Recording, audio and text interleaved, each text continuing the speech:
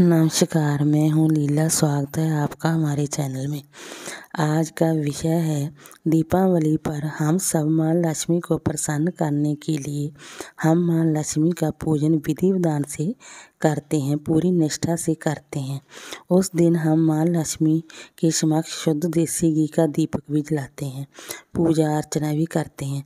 अगर ऐसे में आपके दीपक में फूल बना हो तो समझिए आप बहुत ही भाग्यशाली हैं। आपकी पूजा अर्चना, वंदना, उपासना से माँ लक्ष्मी अति प्रसन्न है।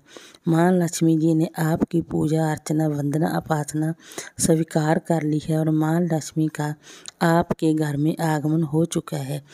माँ आपकी सभी मनोकामनाएँ पूर्ण करेंगी और दुख, कष्ट, परेशानियाँ माँ लक्ष्मी जी के आशीर्वाद से दूर होंगी। आपके घर परिवार में खुशियाँ ही खुशियाँ होंगी। ऐसे में आपको ये दो कार्य अवश्य करने हैं। पहला काम है आप माँ माँ लक्ष्मी जी के गायत्री मंत्र का जाप आप अवश्य करें। माँ लक्ष्मी जी की आराधना और स्तुति करने के लिए एक सिद्ध मंत्र है। इस मंत्र का प्रभाव बहुत ही व्यापक है। साथ ही ये मंत्र बहुत ही शक्तिशाली है और संपूर्ण श्रद्धा और भक्ति के साथ नजम पूर्वक भी माँ लक्ष्मी का गायत्री मंत्र का जाप करने से चमत्कारिक फल की प्राप्ति होती है।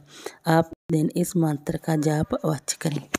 आप रोज़ाना इस मंत्र का 108 बार जाप करना है। मंत्र के जाप के समय अपना संपूर्ण ध्यान माँ लक्ष्मी जी पर ही लगाएँ। माँ लक्ष्मी के गायत्री मंत्र का जाप के जाप के पश्चात आप लक्ष्मी चालीसा का पाठ भी अवश्य करें।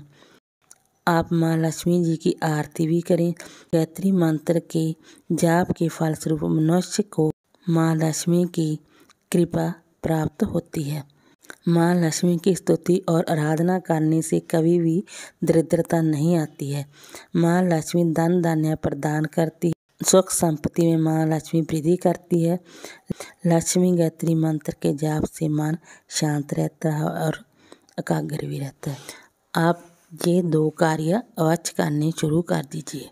आपकी सभी मनोकामनाएँ माँ लक्ष्मी अवश्य पूरी करेंगी। वीडियो अच्छी लगी हो तो लाइक कीजिए, शेयर कीजिए, सब्सक्राइब कीजिए। Thanks for watching this video